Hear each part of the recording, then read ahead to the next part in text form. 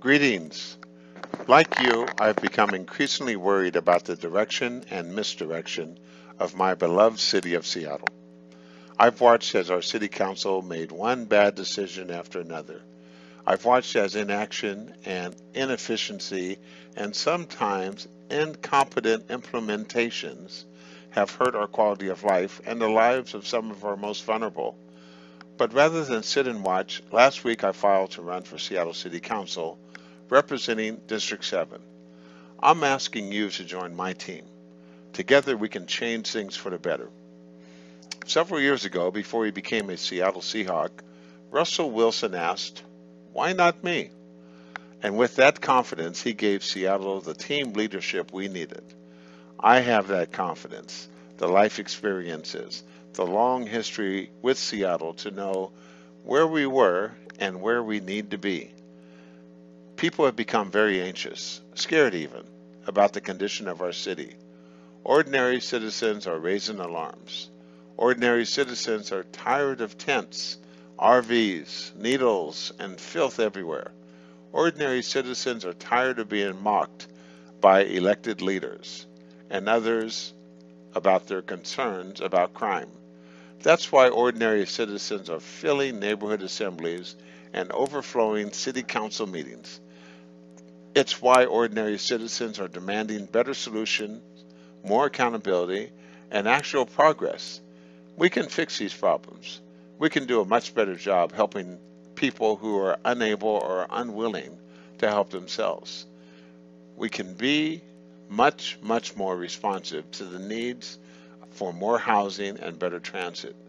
We can resolve ongoing public safety challenges and understaffed and non-compliant police department. We can build bridges, tear down walls that block us from our best city. We can and must do this together. That's why I'm reaching out to you. In just one week, I've gone to dozens of meetings, met hundreds of people, and have heard again and again pleas to make things better. What I keep hearing are calls to do just the things I've done all my whole life make a difference. I started the campaign last week. Everywhere I go, I receive tremendous support and encouragement. People realize the experience and character that I will bring to the City Council.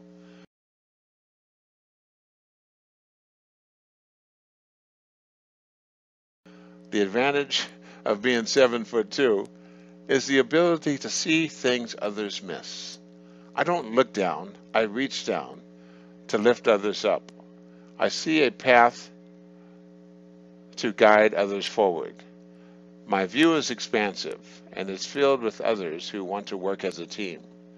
Campaigning is intense. It's a serious endeavor, an endless education, an enjoyable learning curve that I embrace eagerly. We've got our website live, jamesdonaldsonteam.com. We are constantly updating our website with issues, ideas, and policy proposals with endorsements and soon upcoming events. I believe in the old fashioned ways of meeting and greeting and making myself as accessible as possible. That's the way I've always lived my life, and I'm prepared very well for the rigors of the campaign trail. But let's face it, I can't get by on good looks alone. With that being said, I want to make a personal appeal directly from me to you and ask that you contribute directly to my campaign through our website contribution button. I know many of you live outside my district and you can't vote for me, but that and that's fine. But you can contribute from anywhere and any amount will be greatly appreciated. We need hundreds, if not thousands of contributors and every dollar matters. Whether it's $25 or $500, right now urgency is the key. So please donate what you can.